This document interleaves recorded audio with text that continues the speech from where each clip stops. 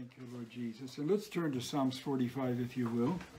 I'm going to pick up where I left off Sunday. And for those of you that uh, have not been following, then you can, I think, Andrew, aren't they on YouTube? Or Yeah. Okay, so you can go there and pick up uh, the last Sunday morning message. But uh, just to say to you that tonight, uh, what I'm going to say, I think, is uh, not revolutionary or not so much a revelation to those of you that have been uh, following my ministry for many, many years, but I think to a lot of people this will be an astounding thing to them because I'm going to talk about where does our family belong in our walk with God, uh, and where does our husband, our wife, and our children, where are they supposed to be in that uh, lineup of things? Uh, so anyway, back to Psalms 45. This is the Song of Loves. This we're talking about intimacy with God, and uh, so I think we left it off where we explained what cassia, myrrh, and aloes meant. Okay, so all of thy garments, verse 8, smell of myrrh, aloes, and cassia, out of the ivory palaces whereby they have made thee glad. Now, that word for ivory is simply white, where it means a sharp point. And palaces is just the temples, the temple of the Lord. All right, so out of the pure places of God, it makes him glad. Glory to Jesus. All right, so let's pick it up then in the next verse. King's daughters were among thy honorable women. Upon thy right hand did stand the queen in gold of Ophir. All right, now turn, if you will, to Song of Solomon chapter 6, and I will show you something there. King's daughters were among thy honorable women. Let's see now. Hold on just one second. I think I have the Bible right. here. That's. All right. There are many names for the uh, people of God throughout the scriptures, apart from body of Christ. But in the Old Testament, they were referred to as virgins. And uh, so let's see here in Song of Solomon, chapter 6, verses 8 and 9. There are threescore queens and fourscore concubines and virgins without numbers. Hallelujah. Without number. And then in the next verse, look what he says The daughters saw her and blessed her. Yea, the queens and concubines, they praised her. All right. So now what we see there are five levels of uh, different types of people. You have queens, concubines, virgins, daughters, but also, as he spoke in verse 9 particular, his dove, his undefiled. Amen. So let's let's just look at these because all of these represent the king's daughters were among thy honorable women. Uh, all of these people are in a sense in a relationship with Jesus, but that all of them have a, a different and varying type of relationship. First, let's start with queens, and you might want to write this in your Bible next to it. Queens are people that have authority. They have uh, rulership within the kingdom of God. So they've achieved quite a bit. You remember in David's army in 2 Samuel 23, it talked about uh, the first three, the second three, and then the main ones. Uh, so it's like you have the chief three, who are basically David's mighty men. Then you have the second three under that, and then the 37 rest of the, or 31, the rest of David's mighty men. Three levels and three, uh, and I would say that these queens represent the second level of threes there. Great men of God. These were the three men that did marvelous things, but yet they did not, it says, attain Yeah. unto the first three. Does that make sense now? All right, so you have the top three, the three mighty men, and then under that you have three other men that reached a great place, but they didn't attain to the first three. And then you have all of the other 31 mighty men. Those, you know, just to be a part of David's mighty men was a great thing, and it lifted you above just the regular army. Okay? But there are ranks within the kingdom of God, ranks within even the bride of Christ. Okay, so, but notice it says 60 queens. 60 is the number for pride. Ah, Maju, God bless you. It's been a long time since I've seen or heard from you. Bless you, dear sister. Glad you're tuning in. Uh, but so you would imagine that pride is keeping these queens from entering into fullness or entering into perfection or all that they could have in Jesus. All right? then you have, it says, four score concubines. Now, these are people that just kind of show up. Well, what is a concubine? A concubine is not married to the person. They're just, they used to be slaves or servants, and uh, they were used for sexual purposes. Uh, and so they had intimacy with a man, but it wasn't their husband. So, what does this say to us? What does a concubine mean then? A concubine is somebody who's in it for the, how shall we say, the uh, blessed times, or they always show up at these meetings and you know, you don't see them again for you know, two years, five years, ten years, then they show up and they're always there, you know, partaking of something, and uh, but yet never really marrying the Lord Jesus. Yeah. So many people, it's like the, the folk there in the book of Luke said, we've drank in your presence. We've eaten and drunk in your presence. So many people have been in moves of God, in the mighty presence and manifest presence of God. There's no denying that. But are they married to Him? Absolutely not. These are concubines who are in it just for whatever. But they always find a reason not to marry Him, yeah. not to get any closer That's right. now, the virgins are just the name for all of the, uh, how should we say it, the people that were in covenant with God in the Old Testament, and then in the New Testament, be every Christian is a virgin. All right? Uh, virgins are not, there's no way you can say that virgins are worldly people at all. Uh, they're virgins in the kingdom of God. They've been made virgins by his blood. Okay? So they're just part of the people in the body out of whom all of these uh, ranks come out of. Am I making sense yeah. now? Mm-hmm. Okay, yes. well, all right. So what are the daughters then? They are people that come into the things of God because of family members. They are people that don't really have a walk with God on their own don't have a desire to walk with God, but as long as they're in that family or in that house, they will uh, go to church, pretend to have a walk with God, but get them out away from that family, and they stop working with Jesus. These are daughters. Okay? So, but then you have what he says there, and this is what we want to be. Verse 9 My dove my undefiled is but one. Amen. Glory to yes. God. She is the choice, one of her, rather, she's the only one of her mother. She is the choice, one of her that bear her. All right. We want to be the choice one. We don't, we're not happy just to be part of the virgins. We're not happy to be a king's daughter. We don't want to be a queen. We certainly don't want to be a concubine.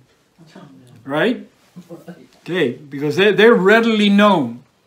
And you can see them. And how many times, you remember that lady, the, uh, Andrew, that came to uh, Narrow Way when Brother Dan was preaching there one Sunday, and she said that she had been there 10 years ago and had been in a meeting where I supposedly had a vision or an angel Well, appeared to me. cloud. Yeah, the, she saw the glory Yeah, cloud. that was back in the day. Yeah, and so- but I mean that was 15 years and we never saw that woman again. Yeah. So, but they're always there trying to pretend they're spiritual. These are super spiritual freaks, to be honest with you. They have no foundation. They just go from high to high, and when it's not high and they're they're having to walk through dark times and heavy times, they they vanish. These are what we call 90 day wonders. Uh, this old brother used to say, Brother Westmoreland, he taught, you know, for 90 days they're prophesying in every meeting. Uh, don't worry about it, it's gone. Uh, and they're they're so excited, they're worshiping, and they're kind of condemning everybody else for not being free, not dancing and worshiping or prophesying. And then after 90 days, you never see them again. 90 days, you wonder where they went. Glory to God. So uh, let's not be any of these lesser ranks. And God doesn't put these ranks in there to make us compare with one another and all that, you know, but I think it, you know, you know where you are at tonight. Most of these uh, that I mentioned to you, except I say concubines and daughters would be in the 30 fold, but in the 60 fold believers, you have those queens and um, who are the other ones I was mentioning? But anyway, uh, the bride is the one that goes in for the hundredfold breaks into the third dimension. God doesn't want us judging and comparing ourselves. He wants you tonight to get a revelation of where you're at Amen. and proceed onward. That's right.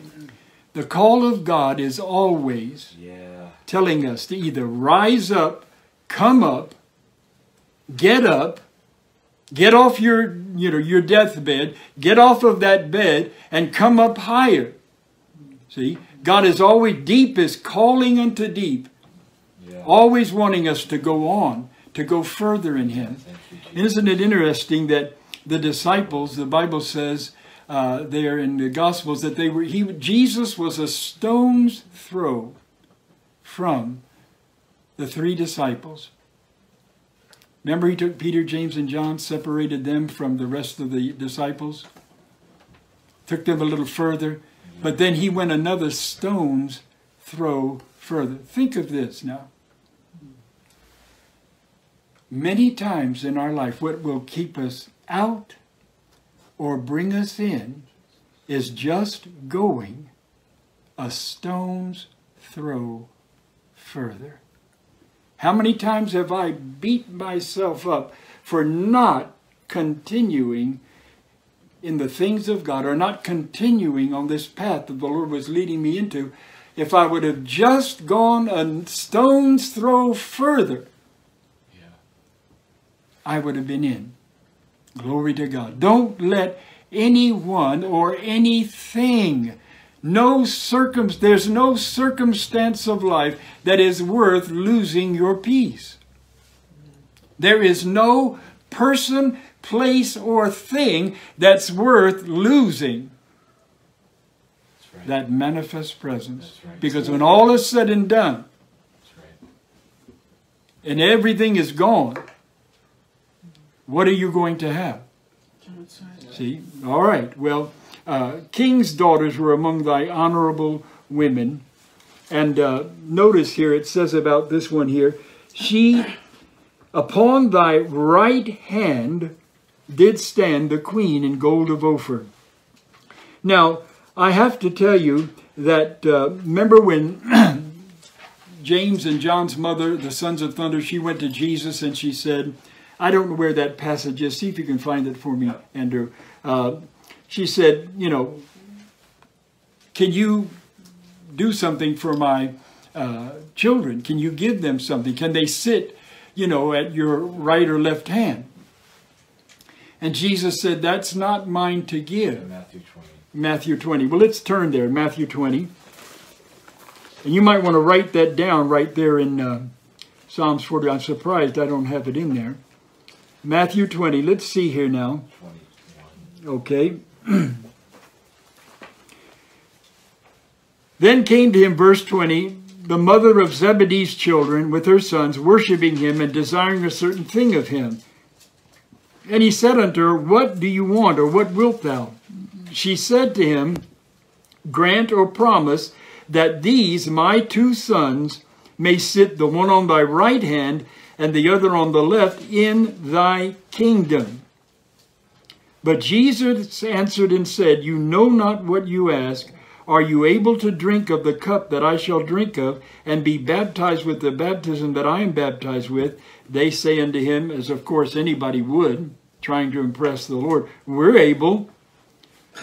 And, and he said unto them, You shall indeed drink of my cup, and be baptized with the baptism I'm baptized with, but to sit on my right hand and on my left is not mine to give, but it shall be given to them for whom it is prepared of my Father. Well, who is it prepared? Now, notice, Jesus is what? All right, here's God the Father. Okay, Jesus is what? At the right hand of the Father. Mm-hmm. So who's at the left hand of Jesus? The Father. Mm-hmm. Somebody's going to be sitting at the right hand of Jesus. Okay, the Father, Jesus, and then the bride. Glory Amen. to God. Amen. At the right, God's going to give it to whom it's prepared for. Amen. This king, or rather, this king's daughter, this queen, rather, is at the right hand, which always speaks of power and deliverance and victory and majesty. There, we're going to be at the right hand of Jesus in the coming kingdom. Glory to God. Now, see how if you just compare spiritual things with spiritual and compare scripture to scripture?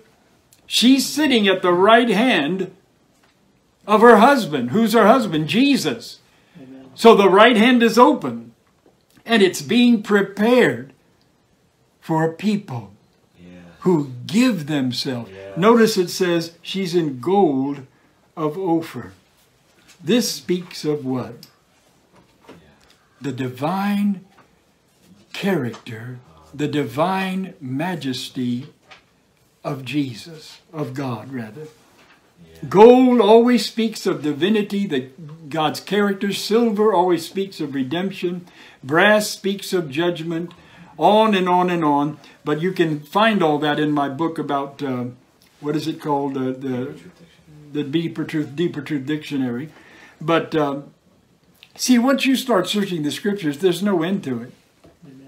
And, and now as you're getting these keys to understanding the names, numbers, objects, colors, and once you have all that, and when you read the scriptures, you can then begin to piece things together. So the queen in gold, the character of God, the divinity, listen to this, the divine, this is what I was trying to remember, the divine nature is what yes. gold represents. Hallelujah. Yes. Now, you forgive me, I'm getting a little old now. I'll be 66 in a couple of weeks. And so I've, I've, I've, you know, just always said gold is the divine nature, but it wasn't coming to me at that moment.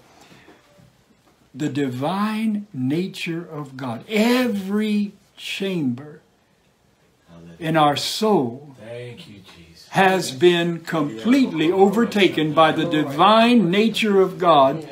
And so once that's done, see, God lives in our spirit. Our spirit doesn't sin. He that's joined to the Lord is one spirit. Okay?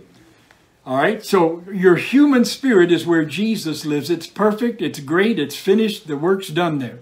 That's the past salvation. then you have your soulish man, which is completely what God is working on in these days. I promise you, there's something in your life going on right now that uh, God is preparing your soul to handle His divine nature. Amen. You're either going to come screaming and fighting, or He's going to pull your hair, drag you through. that's right. I mean, I, that's how it happened to me. I remember Bob Mumford saying one time that it, you know, the Lord showed him uh, his walk from the beginning when he started walking with him and he said, Well, what are those marks on the ground? He said, Those are your heel marks where I dragged you. Amen. But if it happens, so, I mean, Just take me in, Jesus. Yeah. Don't let pride, don't let anything come in my heart to keep me from that glorious nature. Amen. Amen. I want, and I know you want to be like Jesus. 24 hours a day. It consumes me. Yeah. Glory to God. We will pray for you, dear brother. But uh, here we have this, this queen, his bride, in gold of Ophir. She has the divine nature of God. So then he continues Hearken, O daughter, speaking to the bride, and consider. Oh, by the way, let me say this. Gold of Ophir, the word Ophir means reducing to ashes. Jesus. See, when the divine nature comes into our soulish man, it's going to. What does he say to Jeremiah? You're going to. Uh, hold on just a second. I can tell you right now. Jeremiah chapter 1. Root out, pull down, destroy. Then he's going to build and plant. Okay? So he has to root out, pull down, destroy. You know, it's like a wrecking crew comes in there before they begin to build and to plant. So when God's divine nature wants to come in your wicked, wretched soul, he has to get rid of all that which is not pleasing to him. And that takes a lifetime. Don't expect it to happen in three months or two months or even three years or ten years. I mean, I thought when I came into the kingdom, I was so committed in doing everything to walk with him. I thought, well, man, this is, you know, it's going to be short. you have no idea. I had no idea, but I do now. How far the soul of man has fallen. that's right. Hmm. There's so many areas that God needs to invade with his divine it's all a process. It takes time. It takes the dealings of god to work on our soul. It takes counsel. It takes reading the word of god. It takes being in his manifest presence. It takes worshiping obeying him. All of that is a part of the process of you having the divine nature at some point Hallelujah. but and what happens is it's going to be all of that soulish realm of yours is going to be reduced to ashes because the fire of God, not physical fire, but the spiritual fire of God with the dealings of God are going to burn out all that dross Hallelujah. in our soul. Glory to God. So he says, Hearken, O daughter, and consider. Now, I've got a bunch of words here that I wrote down. The word for hearken, I just want to go through these to get this to you, means to, because I'm doing it exegesis wise, and I want to make sure that I uh, follow that pattern. Hearken means to hear intelligently Yeah. if you have the power to hear. Wow. Remember when Jesus said, uh, To him that hath ears, let him hear. Well, does that mean every person that has ears is going to be, physical ears is going to be hearing? No, he wasn't talking about your physical ears. He was talking about the ability for you to hear spiritually. Yeah. If any man has the power to hear or the authority to hear, or you've gotten to the point in your life where you hear and hearken, you hear intelligently the voice of God. hearken, O daughter, and consider. Now, this word for consider simply means to inspect, to regard, or to give attention to. Now, I'm talking to the bride tonight. Hear me. Hear me intelligently. I know that every one of you have an ear to hear what the Spirit is saying. Consider, consider, as Paul said to Timothy, consider what I say, and the Lord give thee understanding. But you've got to pay attention to what the word of the Lord is. Mm-hmm. Hearken, O daughter, and consider, and then notice this word incline thine ear. That word for incline means literally to bend away. And it, there's in the Greek dictionary, there's a parenthesis, it's in parentheses, and it says, including moral deflections. That's what the emphasis is there. In other words, you're going to incline, you're going to bend Yeah, away. Love it. Love it. Yes. Hallelujah. All the stuff that's going on in our soul, it's screaming at us constantly. Even right now, I would dare say some of you are being, your voices are trying to get in your head, even while I'm talking. Resist the, bend away. Glory to God. Deflect Yeah. that. All right.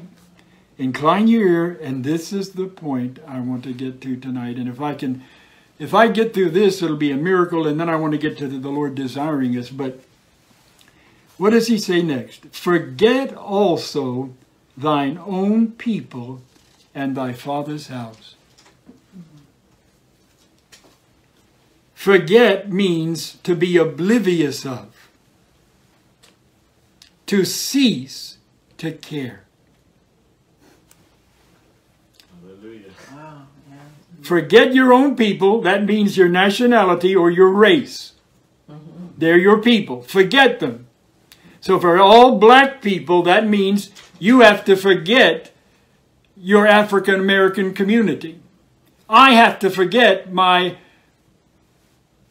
Caucasian community. But even further, it goes and it says you have to be oblivious of. You have to cease to care for your father's house. That's your family members. Now, I, in writing the book Black But Comely, uh, black people were so excited about everything I was sharing until I got to the point where I started talking about we don't worship God in a black way or in a white way. We worship the kingdom way. Yeah. Yeah. so I mean, uh, everybody that exalts in their culture, please hear me. And I don't want to cause any offense tonight, but I'm just going to tell you what the scripture is saying. You need to be oblivious of and cease to care about your culture Yeah. And be ready for the kingdom culture to come upon you. Yeah. Right. Glory to Jesus. Let's take that a step further and let's start talking about our family members. How many people? Now, see, our dear brothers from Pakistan, he needs to forget his own people in Pakistan. Glory to Jesus. Whatever the culture is. Now, we know that white people have a culture in worship, black people have a culture in worship. Uh, I imagine Indian, Pakistani people have culture, Hispanic people have a culture, and they want to stick with their culture. It's such a, and it's becoming more and more harder to separate yourself from your people. Yeah. This is the last, I believe, one of the last things that God is requiring of His people. Now, see, I paid a price. I left my family. I left my people. I could have, I could have cared less, and I mean, I gave no. Uh, I'm oblivious of what's going on in my family. Not that I don't care. I don't want to. If they call me, I can help them, which I do all the time. I help them with money, finances, whatever. I'll do that. But I'm not controlled That's it. Yeah. by my family. Yeah. Yeah. They don't have any say so in my life whatsoever. That's right. Yeah. My people don't have any say so. You know, while I was writing that book uh, about Black but Comely, uh, the history of all the uh, black people in the scriptures, two people came to me that were Caucasian during that time, members of my church, and said to me, Why do you hate your own people? Well, what I should have said is, Man, do you really think I hate my own people? That's good. Amen. The Bible says to forget your own people. Amen. We don't have. We're new creations Yeah. in Christ Jesus. Amen. New creatures. Glory to God. Yeah. So true. We're a, a new, the, in, the, in the Greek, that means a new species. And we're brothers and sisters now, and our color is the glory, the gold, the whatever that Yes. whatever it shows Yes. up in, Yeah. the gold of the glory of God. That's the color you and I want. Yep. That's right. Yes. That's so right. Amen. But how many this these days are being challenged to forget their own people? Yeah.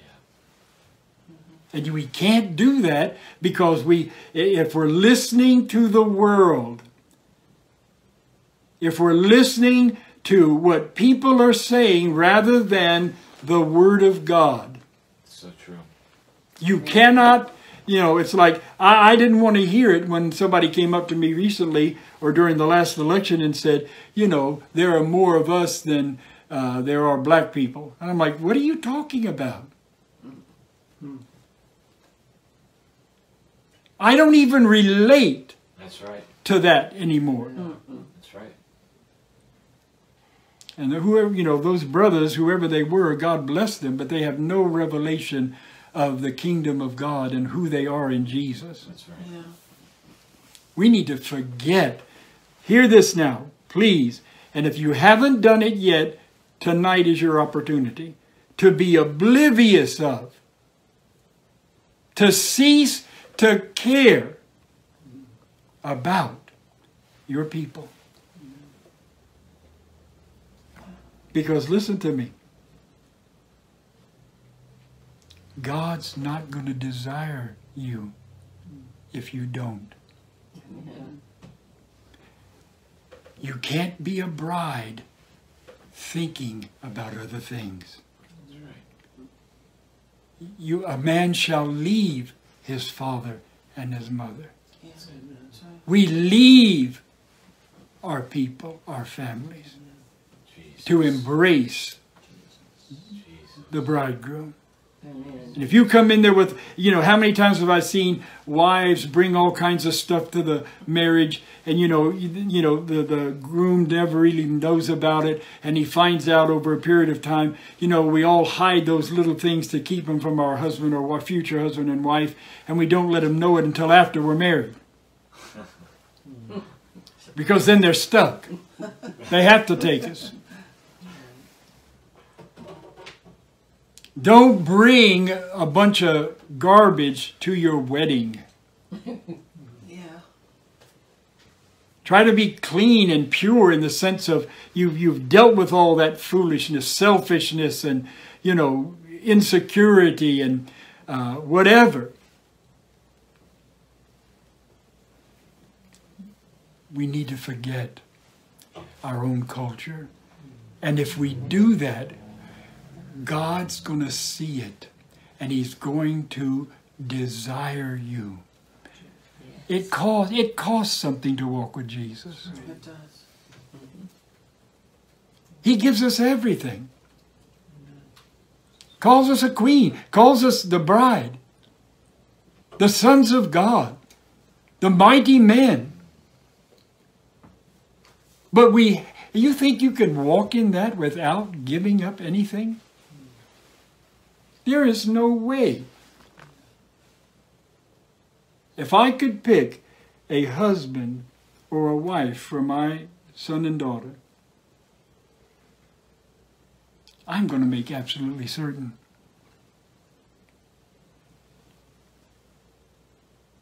We want them to be the best of the best, don't we?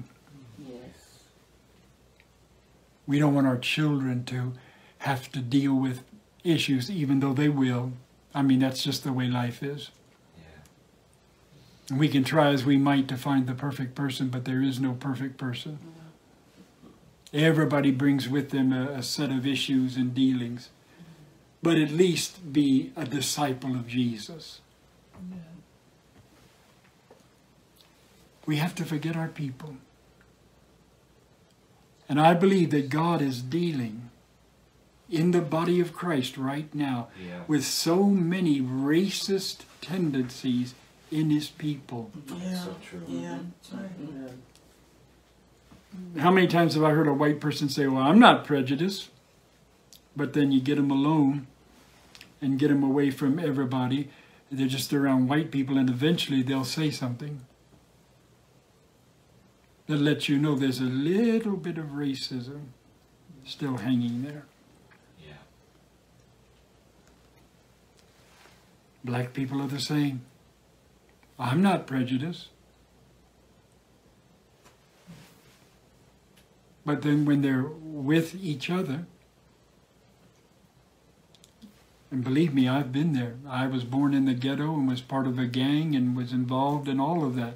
So I know what I'm talking about. I virtually became a black boy. We have to forget our culture. It is a burden, but it see it, it it's put to us like this. How can you forget your people? How? There's only one way to do it. It's by all those places in your soul that are filled up by uh, uh, soulish thinking and uh, political thinking and uh, thinking about who's done what to you and what's wrong with uh, you, you know, why you're not accepted or et cetera, et cetera, et cetera. You have to, all of that has to be divinely broken up Yeah. out of your soulish realm. That's right. Hmm. Forget also thine own people and this one, Jesus, and thy father's house. Hmm. Hmm. You see, most people think that uh, we need to put our wives uh, and our family before everything else.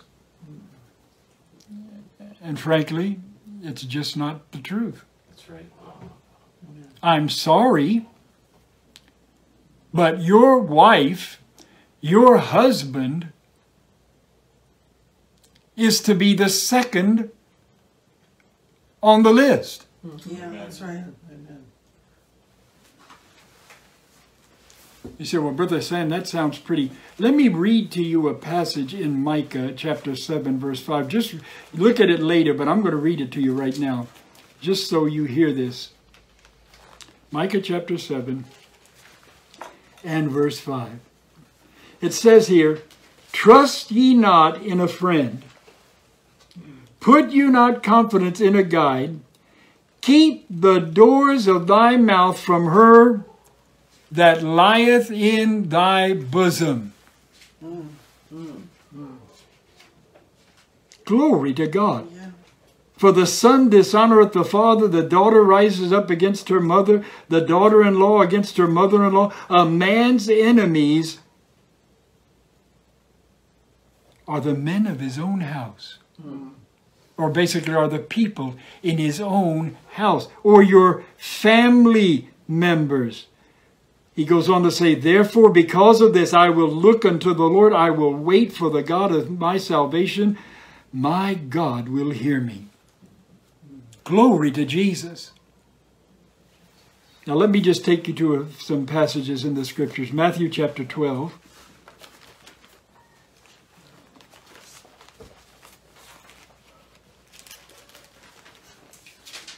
Matthew 12. And you might want to really, you know, write these down because, and just put in, like in your Bible or in your notes, uh, family members and where they belong in the kingdom. Okay, Matthew 12, and let's see. Matthew 12, oh, I'm in Matthew 13, I'm sorry. Matthew 12, 46. Okay. While Jesus talked to the people, behold, his brother, his mother, and his brothers stood without, desiring to speak with him. Now, in other words, Mary and his other brothers uh, came up and tried to interrupt Jesus when he was preaching or talking to the people. Because they thought, well, surely we're his family members. We have a right to do that. Well, let's look what happened. Then one said unto him, Behold, thy mother and thy brothers stand outside or without, desiring to speak with you. And this is the truth. But he answered and said unto him that told him, Who is my mother? Yeah, can you imagine Mary's heart right there? Who is my mother and who are my brethren? Glory to Jesus. Who is your mother and who are your brethren? Not your natural mother and father, not your natural brothers and sisters.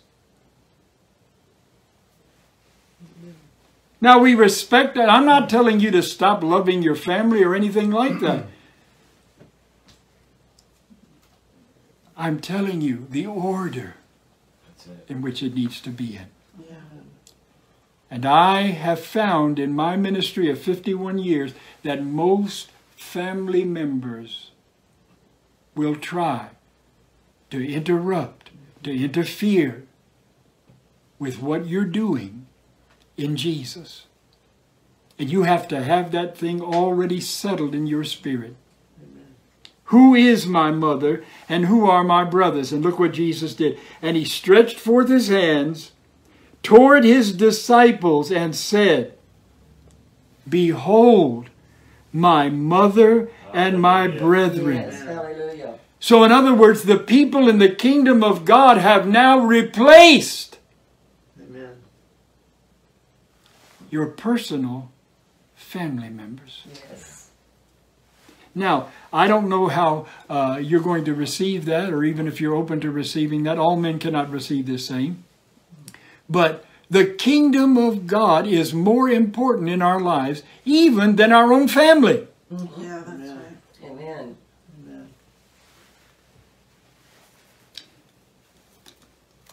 You just wait. How many times have I uh, had to just deal with people and tell, warn them, you know, your mother's not going to want you to do that, or your father's not going to agree with that, or your husband won't like that, or your wife won't like that. We don't. Now, ladies, we're all we're and men, we're all under authority. There is no male or female anymore. We're all under authority. But in the house, in, in a family structure, the Christian man is the head of the household. If he's a Christian, he's the head of the household. If he's not, it's up for grabs. You know what I'm saying? Whatever demons work in anybody will control that place. But if, if there's a godly woman, then she's the head of that household. Amen. But, you know, as a rule, if they're walking with the Lord and they're going on with the Lord, the husband is the head of the house. All right. But ah, how many times have I seen God bring a moat between husbands and wives, parents and children, and children and parents? Uh, I remember one time, way back in the early 70s, this sister that was totally strung out on drugs.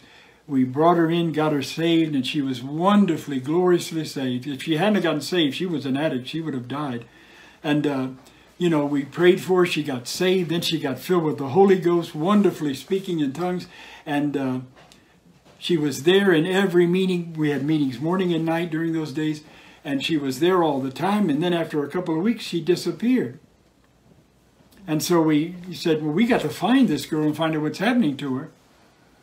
We even went to her house. And her mother answered the door and said to us, I would rather my daughter be on drugs, be a drug addict, than speaking in tongues and with you Jesus freaks. Mm, wow. Mm.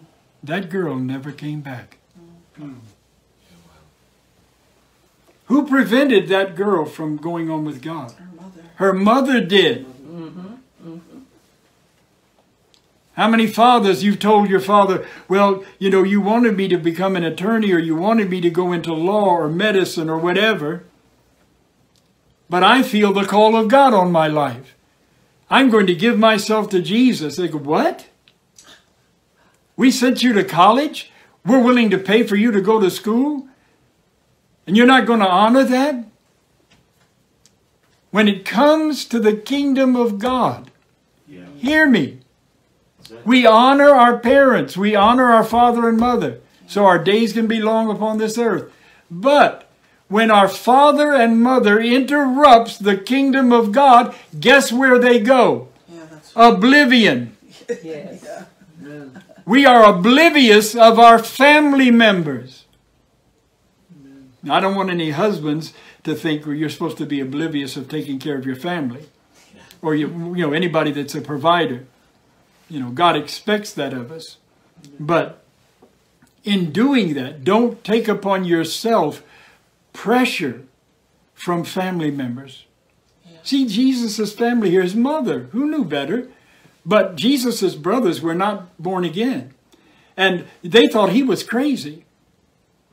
And so they convinced Mary, go in and interrupt that guy. Go interrupt him what he's doing. Jesus would have none of it. He let her know. And he let his brothers know. My family are the disciples. Them, rather them that hear the word of God and keep it. Yes. If your father doesn't hear the word of God and keep it, you need to stop listening to your father. Yeah. If you're of age and can leave the household. If your mother doesn't hear the word of God and keep it, you need to stop listening to your mother. If they don't like the Holy Ghost or you speaking in tongues, then you just need to be oblivious of them. Don't let them speak into your life Yeah. because they're bringing a demonic interference between you and Jesus. Amen. All right. But what does he say there? For whosoever shall do the will of my Father which is in heaven, the same. Whoever's doing the will of the Father, the same is my brother and sister and mother. If people in your family are not walking with Jesus, or they're just barely walking with the Lord, but they're not really seeking the will of the Father, then you need to cease to care about them. Pray for them, believe God for them, but don't let it control your life. Amen. All right. Turn to uh, Matthew chapter 10. Matthew 10. Let's start this in uh, verse 34. Think not that I am come to send peace on the earth. I came not to send peace, but a sword. For I am come to set a man at variance or in conflict. Amen. In conflict against his father, and the daughter against her mother, and the daughter in law against her mother in law. And a man's foes or enemies shall be they of his own household. If you're not, I'm not saying this. This is not some new doctrine. This is the New Testament I'm reading to you. Look at this next verse because it says everything that I've tried to live my life. He that loveth father or mother more than me is not worthy of me. And he that loveth son or daughter, or you could say wife or husband more than me, is not worthy of me. And he that taketh not up his cross and followeth after me is not worthy of me. He that findeth his life shall lose it, and he that loseth his life for my sake shall find it. Yes. That's talking about your psuche, your soulish life. We have to lose that soulish life. And our family members have no say when they're not seeking the will of the Father. Jesus says right there, if you listen to them, you're not worthy of me. Glory to he that loveth father or mother more than me is not worthy of me. Amen. And if you love your children, I have five. Please listen to me. If you love your children more than Jesus, you are not worthy of Him. Is God just trying to do something uh, to make it hard for us? No. He knows the pull and the, uh, the dealings and the frustration of trying to deal with parents or children or with a wife or a husband. Don't be in bondage to any of them. Let Jesus be the Lord of your life. Amen. Let him be the husband of your life. And the other people in the kingdom, the those that are true disciples, let them be your brother and your sister. Hallelujah. Glory to Jesus. Glory. It's so simple, isn't it? Yeah. My goodness. Okay, let's uh, let's turn to Luke 14. I'm just trying to give you these passages where Jesus was very plain about where the family fits in the kingdom of God and our response to them. Oh my, you're not going to like this. Verse 25, I can tell you right now, you're not going to like this. And there went great multitudes with him, and he turned and said unto them, If any man come to me, have you come to Jesus? I think you have. And hate not. Now, God's not saying hate. This is all about putting things in perspective. Okay? Not allowing them to, to be first or to be a torment in your life. If any man come to me and hate not his father and mother and wife and children and brethren and sisters, yea, and his own life also, he cannot be my disciple. If we put anything, mother, father, wife, children, brothers, sisters, even our own life, if we put anything before Jesus, it's wrong. You're out of order. You cannot be my disciple because a disciple means a disciplined one, a student, somebody that's going to hear and obey. How many times have you been caught with your family members? How many times have your brothers and sisters disagreed with you? And some people even get involved where they, mothers and fathers, try to keep their children from going on with God. Brothers and sisters, I remember when I got saved and I was going to move to Jacksonville, Florida in 1970, was it 71, 72, and I was going to go move in a house with uh, a man that I just had heard about through a woman who was one of my teachers in my school. And when I told my family what I was doing, that I was going to leave the day after I graduated, they thought I was nuts. Yeah, I bet. Now, my brother is five years older than me, and I mean, you know, he played five instruments and he was always an honor roll student and, you know, always the one that got all these awards. And, you know, so I, in a sense, in the natural, my soul kind of, uh, you know, worshiped him or put him on a pedestal anyway. But when I came to Jesus, all of that was busted. Jesus was on the pedestal of my life. Yes. And I remember the bus pulling away at 4:30 in the morning in Washington D.C. And my brother had written me a poem about what I was doing. And I was reading it as the bus pulled away. And looking at him, wondering when I would ever see him again. It would be years before I'd see him telling me in that poem how could I do that? How wrong it was to leave.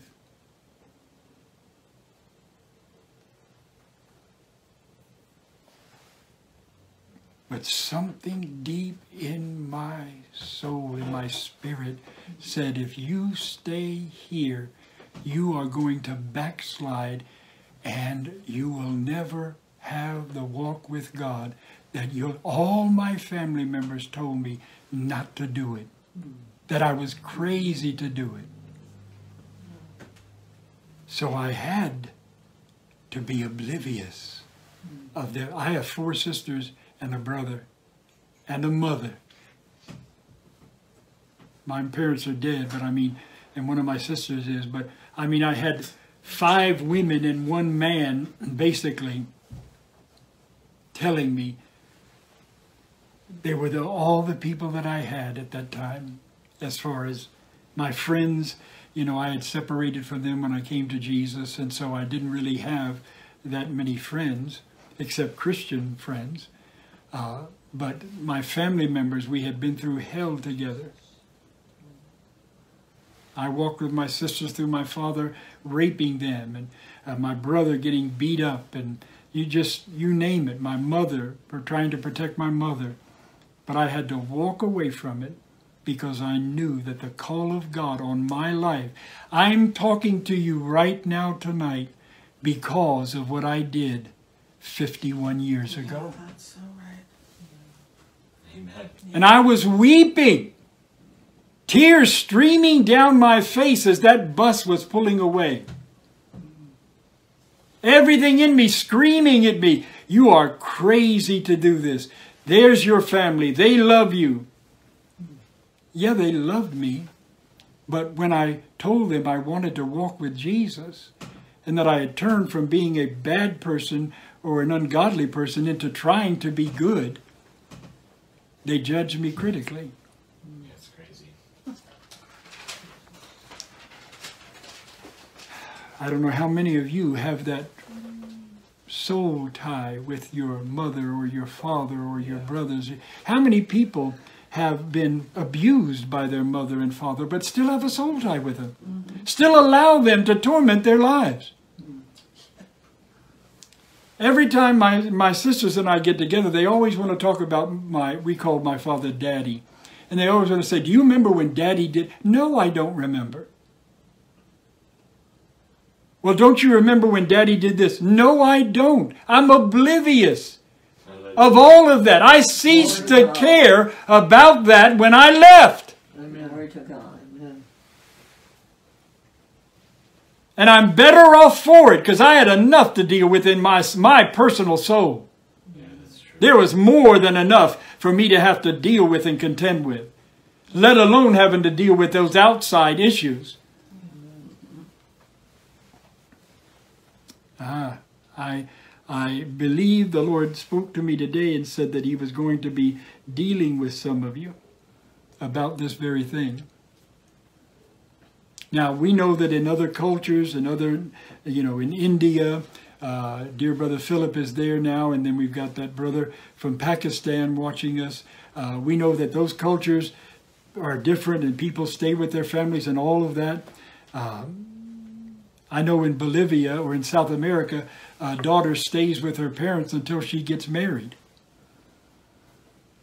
But if you're a believer, what if you're a believer, my dear brother, in Pakistan?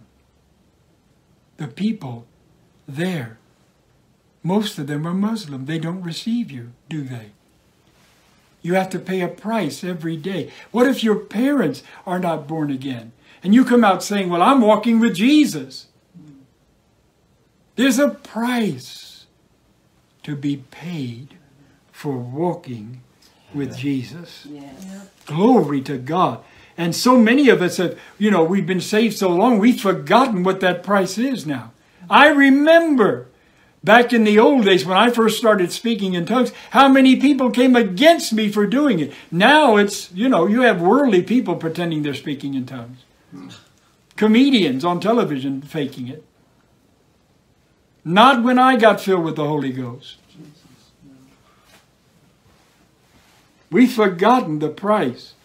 But see, now the price is being paid in all kinds of different ways. And God is going to make sure that his remnant, my dove, my undefiled, is but one.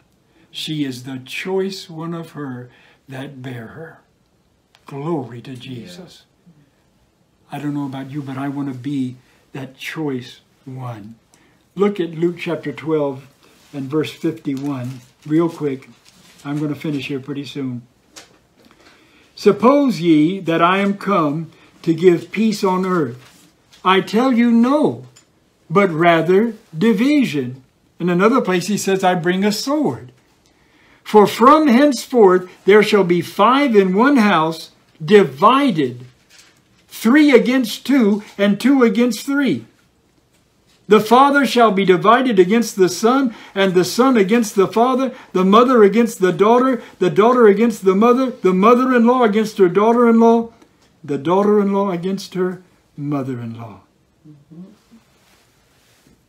Jesus is the word, the sword that separates families. Jesus is the sword or the division in families. But it would be so easy if when we come to the Lord, we're taught these principles. Taught. You've got to leave behind your family and you have to embrace the kingdom of God. You need to forget your own nationality and your culture. I'm proud to be an American. I, my heart gets, uh, you know, I become teary eyed every time I sing the Star Spangled Banner. I love this country, but I'm not bound to it. I don't really care.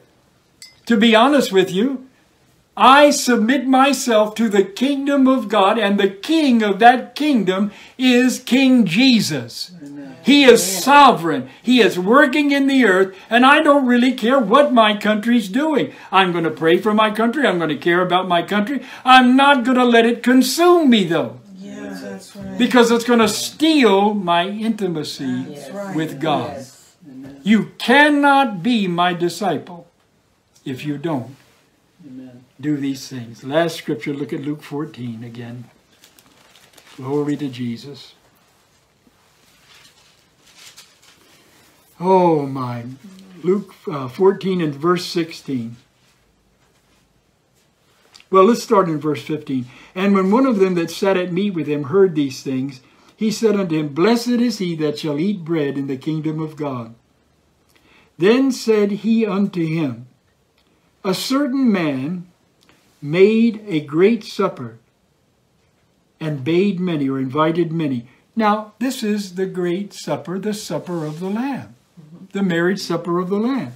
And he sent his servants at supper time to say to them that were bidden, Come, for all things are now ready. And they all, with one consent, began to what? Make excuse. Amen. Every one of them. The first said unto him, I have bought a piece of ground, and I must needs go and see it. I pray thee have me excused. That's possessions. Yeah. Amen. That's allowing things like property and so on to get a hold of you.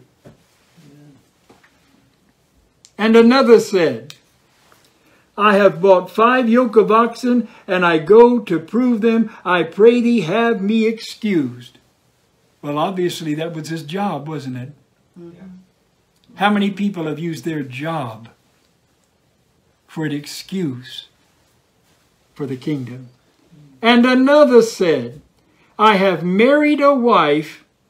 He didn't even try to say what's going to happen. He just, and therefore I cannot come. At least the other said, please have me excused. He, you know, this brother is like, hey, forget it. I'm not, I'm not coming anyway. Because I have to answer to that woman.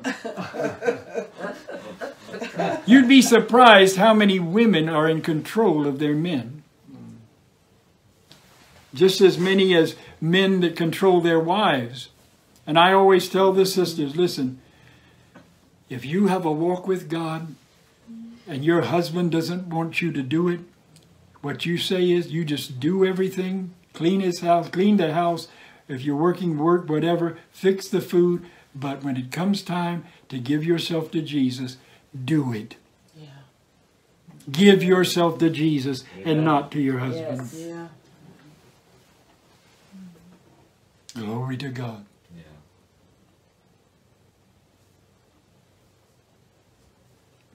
Years ago, there was a dear brother that uh, wanted to be dating and wanted to be married so bad, but he, he this this gorgeous, absolutely beautiful, stunning uh, girl started coming to the meetings uh, in those early days, and you know everybody wanted to you know get next to her because she was just so pretty or whatever. But you know he was pretty good looking guy himself, so he went out and started dating her. But come to find out, uh, she really was not. And all of us had a witness, and he thought we were just jealous of him when we would say stuff to him. Uh, I don't know about that girl. And you dating her or whatever, getting married, he was going to get married to her after a short uh, time. And as soon as they got married, the day after they got married, she stopped speaking in tongues, said, I will never do that again, and began to torment him.